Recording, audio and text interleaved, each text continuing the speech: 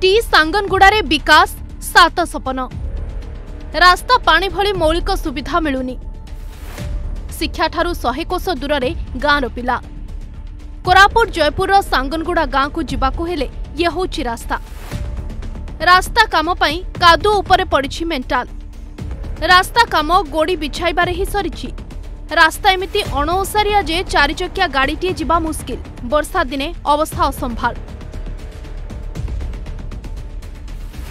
ଗାଁରେ ଶହେରୁ ଅଧିକ ଆଦିବାସୀ ପରିବାର ରୁହନ୍ତି। ପିଇବା ପାଇଁ ଗାଁରେ ଥିବା ନଳକୂପଟି ଖରାପ ହୋଇଯିବାରୁ ପାଣି ପାଇଁ ନାଳ ଉପରେ ନିର୍ଭର କରିବାକୁ ପଡ଼ୁଛି। ଗାଁରେ ପକ୍କା ଘର ଦେଖିବା ସ୍ୱପ୍ନ।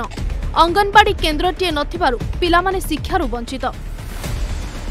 ସେମତାର ସେ ବହି କରି ନେଲାଇନି ଆର ଆଣିଲାଇନି ଅଟୋ ଉଟୁ ଲଗା ଯିବୁ ବୋଲେ ରାସ୍ତା ଅସୁବିଧା ହେଲା ଯେ ବାଟ ନିମା ନାଇଁ ସେଟା असुविधा गान्ने कन्जि नै काइट लुगा पचे दबाक नै पिरिङ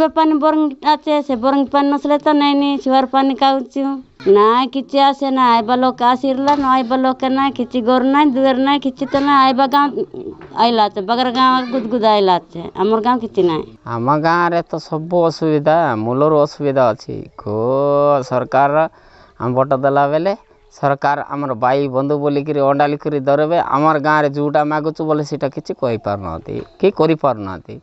ତାଙ୍କୁ ମାନେ ପଚାରିଲେ ଆଉ ପରେ ହେବ ପରେ ପରେ ବୋଲିକିରି ଗଡ଼ି ଗଲାନି ଆମ ଜେଜେବାପା ଥିଲା ଏଇଟା ଠିସାଙ୍ଗନା ମନ୍ତ୍ରୀ ଥିବା ଜାଗା? ମେଡ଼ିକାଲ ପତ୍ର ବି ଅସୁବିଧାରେ ଜଣେ ମରିଗଲେ ବି ବହିକିରି ନେଉଛୁ ଜୀବନରେ ଥିଲେ ବି ବହିକିରି ଯାଉଛୁ ରାସ୍ତା ବାଟ ଟିକେ ଖରାପ ଥିଲା ଏ ମଝିରେ ଟିକେ ଅଛି ମଝିରେ ଟିକେ ଅସୁବିଧା ଥିଲା ଏବେ ତ ଆରମ୍ଭ ହେଇଛି। ଠିକ୍ ରାସ୍ତା କରଲେ ସ୍କୁଲ ପତ୍ର ବି ଆହୁରି ଏ ଚାରି ପାଞ୍ଚ କିଲୋମିଟର ଏବେ ନବମ ପଡ଼ିଲେ ଆମର ପଞ୍ଚାୟତ ଟାଙ୍କୁଆ ଯାଉଛନ୍ତି ପିଲାମାନେ ଆମ ଗାଁରେ ରାସ୍ତା ଅସୁବିଧା ଅଛି ପାଣି ପିଇବା ପାଇଁ ବି ଅସୁବିଧା ଅଛି ଆଉ ଇଏ ଆମର ଗାଁରେ କୂଅ ନାହିଁ ଗୋଟେ ବୋରିଂ ଅଛି ସେଇଟା ବି ୱାସର ଯାଇଛି ନା କ'ଣ କି ପାଣି ବି ବେଳେବେଳେ ବାହାରୁନାହିଁ ସେଇଟା ଖରାପ ହେଲେ ସେ ସାଇର କୂଅର ପାଣି ଆଣି ପିଉଛୁ। ସେ ଲେଟ୍ରିନ୍ ମାନେ ସବୁ କଲେ ସିନା ସେ ମିସ୍ତ୍ରୀ ମାନେ ଭଲରେ କରିପାରିଲେ ନାହିଁ ସେଇଟା ସବୁ ଭାଙ୍ଗି ଯାଉଛି ସିନା।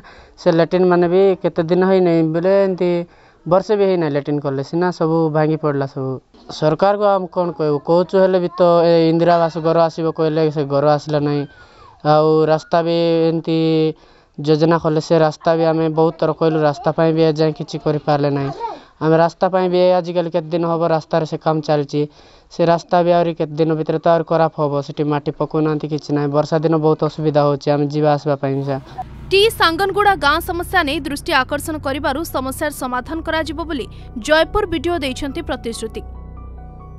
ସେ ସମ୍ଭବତଃ ମୁଁ ଅବଗତ ହେଇଛି ଯେଉଁ ରାସ୍ତା କଥା କହୁଛନ୍ତି ଚଉଦ ପନ୍ଦର ମସିହାରେ ପ୍ରୋବାବିଲି ସେ ଟାଇମ୍ରେ ଗୋଟେ ରାସ୍ତାଟେ ହେଇଥିଲା। ବର୍ତ୍ତମାନ ଟିକେ ରାସ୍ତାର ଅବସ୍ଥା ଭଲ ନାହିଁ ଏବଂ ସେ ରାସ୍ତାର ପୁନରୁଦ୍ଧାର ପାଇଁ ବର୍ତ୍ତମାନ ଆମେ ଏକ୍ସନ୍ ପ୍ଲାନ୍ରେ ତାକୁ ରଖୁଛୁ। ଆଉ ବହୁତ ଶୀଘ୍ର ସେଇଟା ଏକ୍ସନ୍ ପ୍ଲାନ୍ ଆପ୍ରୁଭ୍ ହେଲା ପରେ ତା'ର କାର୍ଯ୍ୟ ଆରମ୍ଭ ହେବ। ପାନୀୟ ଜଳ ସମ୍ବନ୍ଧରେ ଏତିକି କହିବାକୁ ଚାହିଁବି ଯେ ମାନେ ସେଠି ଯେତିକି ଅଛନ୍ତି ଲୋକାଲ୍ସ ଶହେ ଭିତରେ ତ ହେବେନି ପଚାଶ ଭିତରେ ହେବେ ତ ସେମାନଙ୍କର ପାଇଁ ଗୋଟେ ଯେଉଁ ଟ୍ୟୁବୱେଲ୍ଟା ଅଛି ଟ୍ୟୁବୱେଲ୍ଟା ମଝିରେ ଖରାପ ହେଇଥିଲା ବୋଲିକି ଏବେ ଖବର ଦେଇଛନ୍ତି ଲୋକ କମ୍ପ୍ଲେନ୍ ଦେଇଥିଲେ ଆଉ ସେଇଟା ଆମେ ସାଙ୍ଗେ ସାଙ୍ଗେ ଆଟେଣ୍ଡ କରିବୁ। ଆଉ ଯେଉଁ ଗୋଟେ ଆଉ ଗୋଟେ ଅଛି ସୋର୍ସଟେ କୂଅଟେ ତାକୁ ବି ଆମର ସ- ମାନେ ମଝିରେ ସଫା କରାଯାଇଥିଲା ପୁଣି ଆଉଥରେ ବି ସଫା କରାଯିବ। ପ୍ରଶ୍ନ ଉଠୁଛି ସରକାରଙ୍କ ବିକାଶ ଯୋଜନା କାହା ପାଇଁ? କାହିଁକି ଗାଁରେ ପ୍ରଶାସନର ପାଦ ପଡ଼ିନି? ରାସ୍ତା କାମ କାହିଁକି? ଅଧାରୁ ବନ୍ଦ। ଟି ସାଙ୍ଗନଗୁଡାରେ କେବେ ପ୍ରଶାସନର ପାଦ ପଡ଼ିବ ନାହିଁ ନାହିଁର ଗାଁ ଟି ସାଙ୍ଗନାଗୁଡ଼ା ନିର୍ବାଚନ ଆସିଲେ ନେତା ମନ୍ତ୍ରୀଙ୍କ ପ୍ରତିଶ୍ରୁତି ମିଳୁଥିବା ବେଳେ ନିର୍ବାଚନ ସରିଗଲେ କେବଳ ପ୍ରତିଶ୍ରୁତି ପାଣିର ଗାର ପଡ଼େ। ଏବଂ ଶିକ୍ଷା ସ୍ୱାସ୍ଥ୍ୟ ଗମନାଗମନ ସତେ ଯେମିତି ଏମାନଙ୍କ ପାଇଁ ସାତ ସ୍ୱପ୍ନ ପାଲଟିଛି। ସ୍ୱାଧୀନତାର ଦୀର୍ଘ ବର୍ଷ ପରେ ମଧ୍ୟ ଏଠାରେ ସ୍ୱାଧୀନତାର ସ୍ୱାଦ ଚାଖିନାହାନ୍ତି ଟି ସାଗଣାଗୁଡ଼ା ଗ୍ରାମବାସୀ। ତେବେ ସରକାର ଏମାନଙ୍କ ପାଇଁ କେବେ ମୌଳିକ ସୁବିଧାଟିଏ ଯୋଗାଇ ଦେବେ ତାକୁ ହିଁ ଦେଖିବାକୁ ବାକି ରହିଲା। କୋରାପୁଟ ଜୟପୁରରୁ କ୍ୟାମେରାମ୍ୟାନ୍ ସନ୍ତୋଷଙ୍କ ସହିତ କିରଣ ରଞ୍ଜନ ଦାସଙ୍କ ରିପୋର୍ଟ ଅର୍ଗସ୍ ନ୍ୟୁଜ୍।